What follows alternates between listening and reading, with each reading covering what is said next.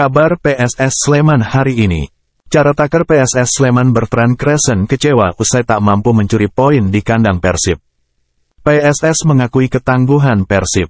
PSS kalah 1-4 dari Persib saat melakoni laga tandang di Stadion Gelora Bandung Lautan Api, GBLA, Sabtu, tanggal 28 Oktober tahun 2023. PSS keteteran meladeni permainan Maung Bandung.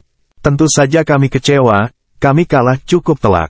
Angkanya, skor, sangat memberatkan bagi pemain.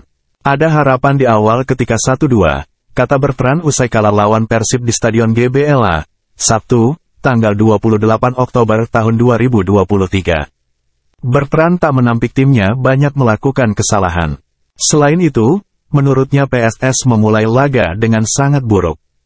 Terbukti, PSS kebobolan dua gol lebih dulu. Akhirnya logis, Persib sangat kuat. Persib menghukum kami atas kesalahan-kesalahan yang dilakukan langsung, kata Bertrand. Bertrand tak menampik timnya banyak melakukan kesalahan. Selain itu, menurutnya PSS memulai laga dengan sangat buruk. Terbukti, PSS kebobolan dua gol lebih dulu. Akhirnya logis, Persib sangat kuat. Persib menghukum kami atas kesalahan-kesalahan yang dilakukan langsung, kata Bertrand. Bertrand mengatakan saat ini timnya fokus untuk memperbaiki mental pemain. Menurutnya, pemain harus kembali mengangkat kepalanya usai kalah dari Persib. Fokus pertandingan selanjutnya, kami sangat membutuhkan poin di kandang pada saat lawan Bali United. Fokus mengembalikan moral pemain, fokus ke pertandingan selanjutnya, ucap Bertrand.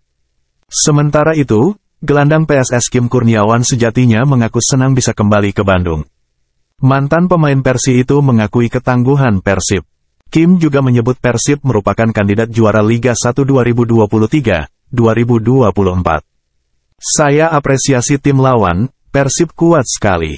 Mereka tim cukup solid, dan calon juara, kata Kim. Kita harus banyak belajar. Selalu setelah kekalahan itu kecewa. Itu wajar, itu normal. Kita kembali latihan, karena minggu depan putaran kedua sudah dimulai lagi. Tidak ada kata lain selain bangkit, ucap Kim menambahkan.